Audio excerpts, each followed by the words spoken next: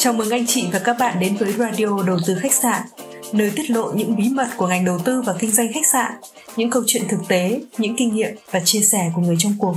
Tôi là Hiền, rất vui được đem đến anh chị và các bạn chương trình này.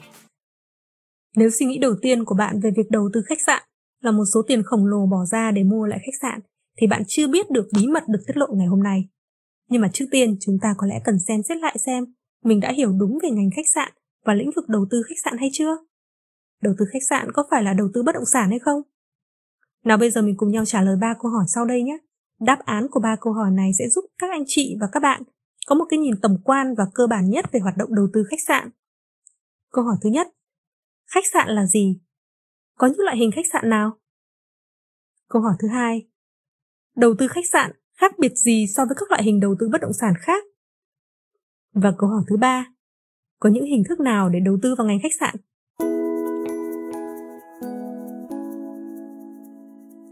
Về định nghĩa thì khách sạn là một loại hình dịch vụ lưu trú ngắn ngày và kinh doanh khách sạn là hoạt động phục vụ chỗ ở hay chỗ lưu trú cho khách hàng, chủ yếu trong cái khoảng thời gian là dưới 30 ngày. Ngành khách sạn thì còn bao gồm các hình thức kinh doanh dịch vụ lưu trú ngắn ngày khác mà chúng ta thường nghe thấy như nhà nghỉ, nhà khách, hostel hay còn gọi là ký túc xá ngắn ngày, homestay, resort, vân vân. Mặc dù định nghĩa thì là như vậy nhưng trên thực tế chúng ta vẫn thấy khách sạn hay homestay vẫn nhận khách cho thuê dài ngày đúng không? Có những quốc gia như Mỹ chẳng hạn, thậm chí có những loại hình khách sạn thì dành riêng cho khách ở dài ngày.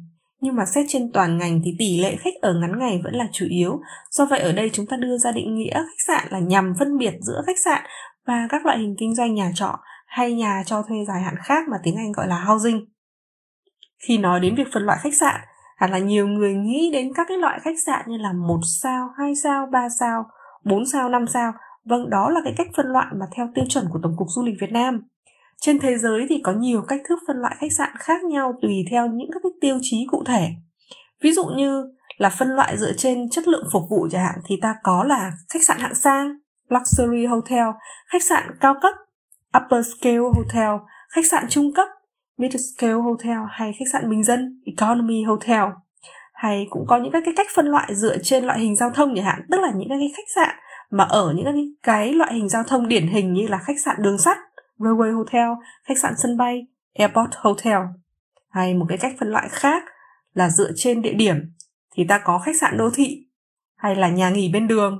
Rồi còn có phân loại dựa trên từng các cái tập khách hàng một ví dụ như khách sạn du lịch thì phục vụ khách du lịch và khách sạn hội nghị hội thảo phục vụ khách ờ, công vụ khách đi tham gia hội nghị hội thảo.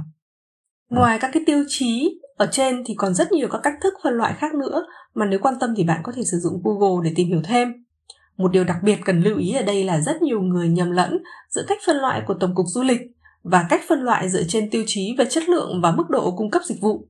Ví dụ như một khách sạn 4 sao theo tiêu chuẩn của Tổng cục Du lịch thì quy mô tối thiểu phải đạt 80 phòng, có bể bơi, nhà hàng, spa, phòng hội nghị, chỗ gửi xe. Nhưng mà trên thế giới thì có nhiều khách sạn 4 sao mà số lượng phòng chỉ khoảng 40 đến 50 phòng. Hay là nếu mà bạn đã từng đặt phòng trên các trang online như booking.com hay Agoda thì sẽ gặp trường hợp các khách sạn chỉ có 30, 40 phòng nhưng mà vẫn đạt tiêu chuẩn 4 sao và giá bán thì tương đương hoặc cao hơn cả giá bán của khách sạn 4 sao theo tiêu chuẩn của Tổng cục Du lịch Việt Nam. Như vậy, cái việc xếp hạng sao trên các cái kênh online ở đây là nhằm chỉ mức độ và chất lượng dịch vụ của khách sạn chứ không phải là chỉ theo tiêu chuẩn của Tổng cục Du lịch Việt Nam. Bạn nhớ nhé, cái việc xếp hạng sao á là chỉ mức độ và chất lượng của dịch vụ khách sạn chứ không phải là cái hạng sao đó là theo đúng tiêu chuẩn của Tổng cục và Du lịch Việt Nam. Ok, bây giờ là câu hỏi thứ hai này. Đầu tư khách sạn có khác biệt gì so với các loại hình đầu tư bất động sản khác? Là một nhà đầu tư thì khi nói về khách sạn chúng ta sẽ nghĩ ngay đến một bất động sản đúng không? Chính xác khách sạn là một loại hình bất động sản. Chúng ta hình dung như về một khách sạn như thế nào nhỉ? À, đó là một vài tòa nhà và một vài công trình kiến trúc xây dựng trên một mảnh đất này. Và toàn bộ cái tài sản bao gồm cả đất, cả nhà đó, nó mang đầy đủ đặc tính của một bất động sản. Như là tính địa điểm này, tính lâu bền này, tính duy nhất, tính khan hiếm và tính tăng trưởng giá trị trong dài hạn. Tuy nhiên, khách sạn là một loại hình bất động sản phức tạp hơn cả. Và đó chính là lý do mà tại sao rất nhiều môi giới khó có thể giải thích cho bạn được tường tận về cái loại hình bất động sản này. Tại sao ta lại nói khách sạn là loại hình bất động sản phức tạp? Tôi sẽ đưa ra một vài phân tích và ví dụ rất cơ bản để các anh chị và các bạn có thể hiểu hơn một chút về sự phức tạp của khách sạn. Đầu tiên chúng ta hãy nói về hoạt động kinh doanh phòng của khách sạn. Thông thường thì đơn vị bán phòng khách sạn được quý ước là một đêm phòng. Và một khách sạn, một phòng khách sạn trong vòng một tháng có bao nhiêu ngày thì có bấy nhiêu đơn vị bán phòng. Ví dụ như một tháng có 30 ngày thì tức là cái phòng đó có 30 đơn vị bán. Giá của mỗi đơn vị bán này sẽ được định giá theo cung cầu của thị trường ngay tại cái thời điểm mà khách hàng đặt phòng. Đó chính là lý do giải thích tại sao mà một đêm phòng vào lễ Giáng sinh có thể cao hơn gấp đôi so với một đêm phòng vào ngày bình thường và chính vì cái tính linh động này khiến cho khách sạn có thể tối ưu doanh thu phòng mang về và như vậy so với việc cho thuê dài ngày một căn phòng thì doanh thu khách sạn có thể cao hơn rất nhiều. Và so với các loại hình bất động sản khác thì khách sạn có tính thích ứng với thay đổi của thị trường cao hơn rất nhiều. Kế tiếp, ta bàn về hoạt động vận hành khách sạn. Khi mà chúng ta đến một khách sạn, bạn nhớ xem, chúng ta sẽ gặp ở cửa là ai nhỉ? Một nhân viên hành lý giúp chúng ta mang đồ vào bên trong đúng không? Rồi chúng ta gặp nhân viên lễ tân ở quầy lễ tân phục vụ cho việc chúng ta check in. Và sau khi chúng ta lên phòng, mỗi buổi sáng sẽ có nhân viên buồng phòng dọn phòng sạch sẽ cho chúng ta hàng ngày. Và khi chúng ta ăn sáng tại khách sạn thì chúng ta được phục vụ bởi ai nhỉ? Bởi đầu bếp này, nhân viên pha chế, nhân viên nhà hàng. Và rồi giả sử khi một lúc nào đó bạn xem Netflix và bị mất kết nối Internet, bạn gọi cho lễ tân và 5 phút sau một nhân viên trực kỹ thuật sẽ đến hỗ trợ bạn. Bạn thấy không? Chỉ ở có một đêm thôi mà có rất nhiều nhân viên phục vụ chúng ta. Như vậy là đủ thấy quản lý và vận hành khách sạn phức tạp hơn bất cứ loại hình quản lý bất động sản và cho thuê nào khác, đúng không bạn? Ngoài ra thì khách sạn còn có khả năng tổ chức vốn và cải thiện hoạt động kinh doanh theo cách nhanh hơn so với các loại hình bất động sản khác và các khách sạn có thể cung cấp nhiều dịch vụ bổ sung cho khách hàng dựa trên đặc điểm của từng khách sạn. Ví dụ như các dịch vụ uh, về ăn uống, dịch vụ vận chuyển, dịch vụ tổ chức sự kiện, dịch vụ kinh doanh tour du lịch. Lợi nhuận từ các hoạt động gia tăng này đôi khi còn cao hơn cả lợi nhuận so với hoạt động kinh doanh phòng thuần túy.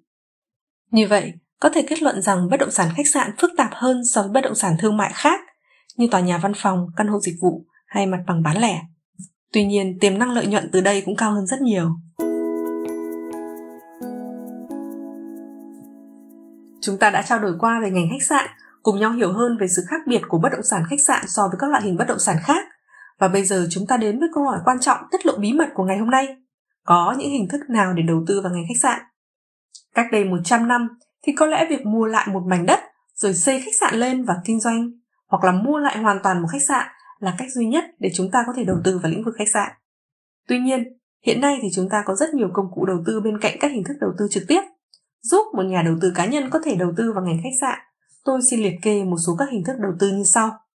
Cách thứ nhất, mua lại khách sạn hoặc mua đất rồi xây lên khách sạn và vận hành kinh doanh. Cách này gọi là cách đầu tư trực tiếp. Cách thứ hai, thuê lại một khách sạn và sau đó cải tạo cho mới và đẹp hơn hoặc giữ nguyên như vậy và vận hành kinh doanh đây cũng là một cách đầu tư trực tiếp. Và thông thường ở Việt Nam thì thời gian thuê tối thiểu là 5 năm. Cũng có những trường hợp thời gian thuê lên đến 20-30 năm. Nhưng mà trên thế giới thì thời gian thuê thường từ 20 đến 100 năm hoặc lâu hơn nữa. Cách thứ ba là mua và bán chứng khoán, ví dụ như cổ phần, cổ phiếu, trái phiếu của một công ty đầu tư khách sạn. Giả sử như sau này Vinpearl niêm yết trên sàn chứng khoán và bạn muốn đầu tư vào Vinpearl, bạn hoàn toàn có thể đầu tư bằng cách mua cổ phiếu của Vinpearl. Cách thứ tư mua và bán chứng chỉ quỹ đầu tư bất động sản khách sạn, tiếng Anh gọi là hotel REIT Đây là một loại hình quỹ đầu tư bất động sản đại chúng. Tuy nhiên ở Việt Nam thì hiện chỉ có một quỹ đầu tư bất động sản đại chúng duy nhất là Techcom Việt Nam, mã chứng khoán là TCREIT, niêm yết trên Sở giao dịch chứng khoán thành phố Hồ Chí Minh. Cách thứ năm, mua và bán token của một khách sạn. Hình thức này khá là mới mẻ, nhưng về mặt bản chất nó là một phần được chia nhỏ của một dự án đầu tư khách sạn Việc chia nhỏ này được thực hiện thông qua việc số hóa tài sản đầu tư bằng công nghệ blockchain. Hiện tại thì nhiều quốc gia phát triển đã hợp pháp hóa hình thức đầu tư này, tuy nhiên ở Việt Nam thì token hóa bất động sản vẫn chưa có hành lang pháp lý vững chắc. Và như vậy, nên nếu mà muốn đầu tư theo hình thức này, bạn sẽ phải mua và bán token khách sạn ở trên các sàn giao dịch quốc tế. Cách thứ sáu, khởi nghiệp hoặc đầu tư cho một công ty khởi nghiệp trong lĩnh vực khách sạn. Ví dụ như một người bạn của bạn muốn thuê lại một khách sạn để kinh doanh, bạn có thể tham gia góp vốn đầu tư giống như là một nhà đầu tư thiên thần. Nhìn chung thì nó khá giống như mở một quán cà phê hay một nhà hàng vậy. Có điều tổng vốn đầu tư trung bình thì thường cao hơn cà phê và nhà hàng. Như vậy là có 6 hình thức cơ bản để đầu tư vào khách sạn và chúng ta hoàn toàn có thể khẳng định rằng mua khách sạn không phải là cách duy nhất để đầu tư khách sạn. Đến đây có lẽ anh chị và các bạn đã có những hình dung cơ bản nhất về ngành khách sạn, sự khác biệt của khách sạn so với các loại hình bất động sản khác và các hình thức đầu tư khách sạn hiện nay. Nếu bạn vẫn đang nghe chương trình đến lúc này, nghĩa là bạn đã lắng nghe trọn vẹn bài chia sẻ ngày hôm nay. Đó là điều động viên nhất đối với người làm chương trình và xin gửi tới anh chị và các bạn lời cảm ơn từ tận đáy lòng. Chúng tôi, những người làm chương trình rất muốn được lắng nghe ý kiến đóng góp, những câu hỏi từ thính giả, từ đó có thể giúp cho nội dung chương trình phong phú và hữu ích hơn.